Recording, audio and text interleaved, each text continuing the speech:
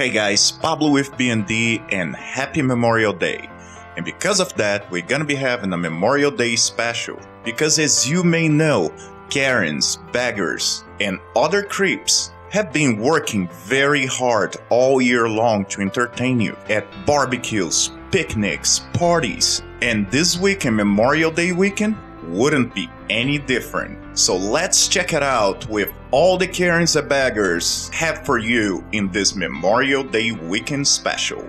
Given awful schedule and you have to work extra, as anyone would be able to tell from my previous comments, I am a doctor. My wife and I met at the hospital when I was a resident and she was a student, and she ultimately got a very good job at the hospital with no help from me. Her new boss was shocked when she found out we had been dating for almost a year. We got engaged. During my last year of training, we got married. For people who don't know how much resident physicians are paid, my wife made significantly more money than I did at the time. Right before we got married, I signed a contract with a practice that would move us out of the States at the end of June, about a year later. She enjoyed her job, and her supervisor was very nice to her at first. We had a beautiful wedding and a fantastic honeymoon. When we came back to work, we were both deliriously happy. That is, until she walked in that Monday afternoon.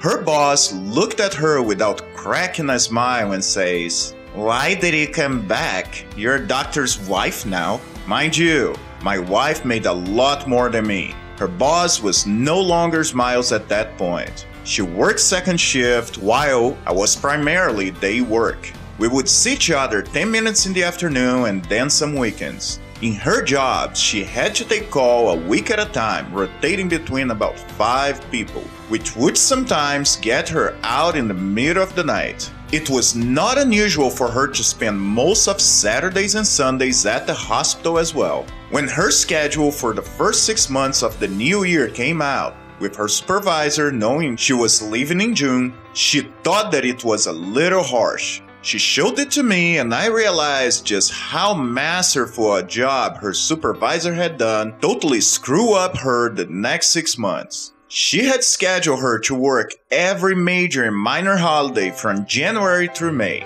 New Year's Day, Martin Luther King Day, Valentine's Day, Easter weekend, during the sports events that went on for a week in April where we lived, and finally, Memorial Day. Much of the schedule was not overtly obvious, but there are many subtleties that cause major effects. Instead of call rotating one week on, four weeks off, my wife was scheduled for a week, two weeks off, then another week, and three weeks off, all together to fit with the holidays. We were already scheduled to be off the week of Valentine's Day, and I already had plane ticket purchased. Her boss told her that she wasn't allowed to take off that time because she and her SO had plans. Fortunately, we had an email saved showing that she had approved that time off months earlier. The petty revenge comes when my wife worked her schedule without complaint. She was scheduled to work Memorial Day weekend, and she already knew that all her co-workers and supervisor had plans and would be out of town.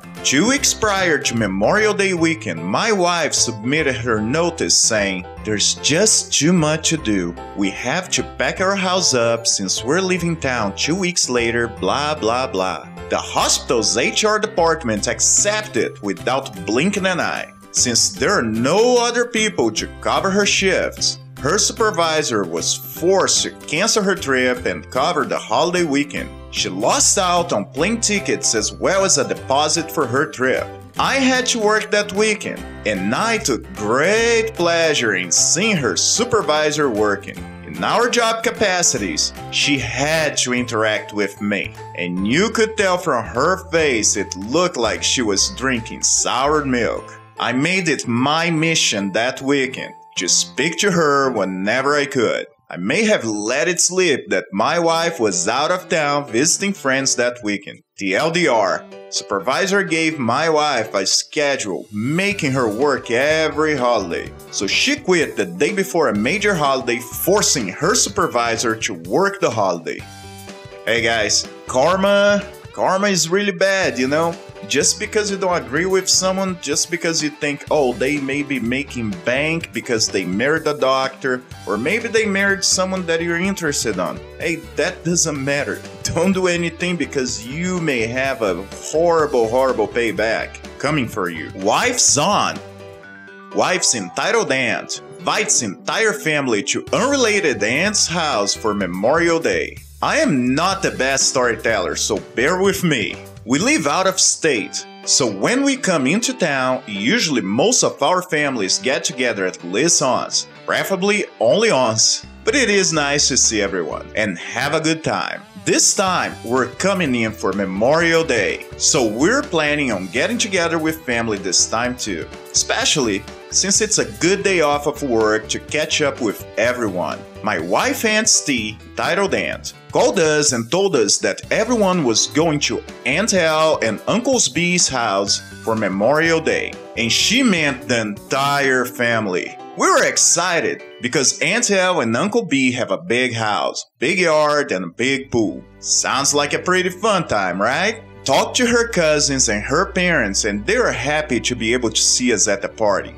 Somehow, though, we never talked to Aunt El, Uncle B, or their kids, and apparently neither did anyone else. This is important later. I called my mom and said she was welcome to come if she wants to also. Everyone's excited because this is going to be a lot of people we haven't seen in 8 months. And admittedly, we want to show off my wife's baby bump to everyone too. We leave tomorrow morning, so this morning at breakfast, I suggest we ask Aunt El and Uncle B if we should bring anything to the party. After breakfast, we call them. Aunt El picks up, and we ask if we should bring anything to the party. I'm paraphrasing a bit, but I'm not joking. What party? The Memorial Day party you guys are having. We're going to be visiting B's family next week. We aren't going to be home. Who said we're having a party?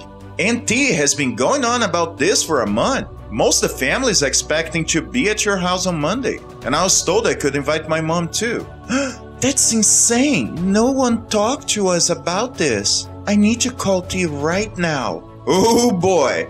For reference, NT is on my father in law's side of the family, and NTL is on my mother in law's side. I don't know all the details at this point, but considering the conversation we had, it sounds like either Auntie, who is not even on the same side of the family as Aunt El and Uncle B, was either going to throw a party without them there, or just assumed they would be having a party with everyone and got most of the family excited over it. I am not rewriting the above, but my wife just called and said it's exactly the second thing. She assumed they were throwing a party and just invited most people both sides of the family to it.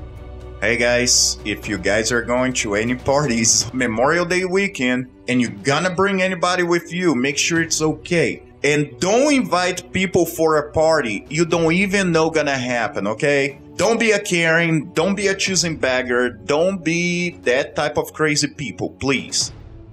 Never let your guard down in the woods. So this is the story of a bunch of dumb teenagers who were tormented in the deep woods. Long back story, but worth it. I was 18 year old high school senior and was about three quarters of the way through the year. I had moved that year and switched to a school about 30 minutes away from where I used to go. I stayed in touch with a few people from my old school and got invited to go camping with a few of them over Memorial Weekend, which basically meant getting drunk as hell in the forest. I invited two girls and one guy from my new school to come hang out for a night and met them the closest town from the campsite, about 40 minutes away. The guy Jeremy hopped in my car and the girls followed me up and we got to the campsite without incident. This campsite was 30 minutes away from any human sign of life outside of a bad dirty road. The night started off fine, with everyone getting completely trashed and me beating one of the girls I brought named Sarah at beer pong. And she was very drunk and all over me. I guess to the 18 year old version of me, that night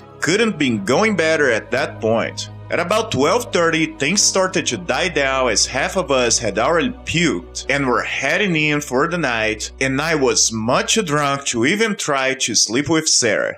A lot of the night is still a blur, But I remember climbed into a tent and there are five of us in it, three guys and two girls. At around 2:30 a.m., I was awakened by the sound of a shotgun. I was still very drunk and had a hard time processing anything. But in my drunken state, I figured it was one of the people I was camping with being a dick.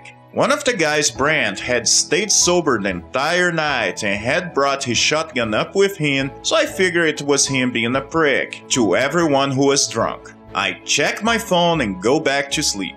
I fell asleep and at what I think was around 3 am, I am awakened by someone bawling their eyes out and I'm still having a very hard time processing anything. After about 5 minutes, I realize it's Brent and I stumble out of my tent followed by Jeremy. And I walk out to see Brent is bleeding profusely from his nose and mouth and I run over him, stumbling the entire time. I am then hit in the head with a rock and I'm knocked unconscious. Everything from this point forward is from Jeremy's point of view. Jeremy to this day is my best friend and has told me his version of the story many times. He says, I pass by a tree and a large man lunges out and smashed my face with a rock.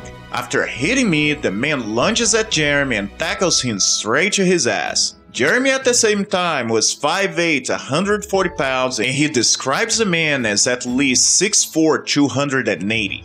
Jeremy is being choked to death by this wooded monster of a man, and he hears another gunshot from a pistol. Sarah had managed to find a pistol Brent had also brought with him and fired a shot, missing the man by a large amount, but it managed to startle him and he sprinted off into the woods. They just let him go and Jeremy drove me and Brent to the hospital. I had three broken teeth and a severe concussion, and Brent had part of his tongue mutilated with a knife and a broken nose. Brent has never talked to me or any of my friends from that trip about what exactly happened when he was outside alone with the man and refused to give the police much of a description. The man was never caught and I have never been in the deep forest again. This was in 2005 and I'll be willing to answer any questions you have in the comments. Crazy Woodlands man? Let's not meet.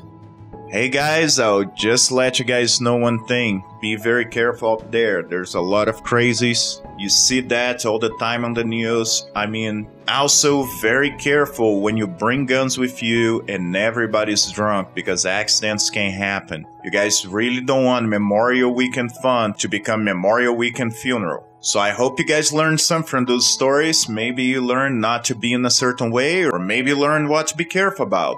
So for you guys, I wish you all a great Memorial Day weekend. Don't forget to subscribe, give us a like, and hit that notification bell because this really helps the channel. Have fun, and I'll be seeing you guys tomorrow.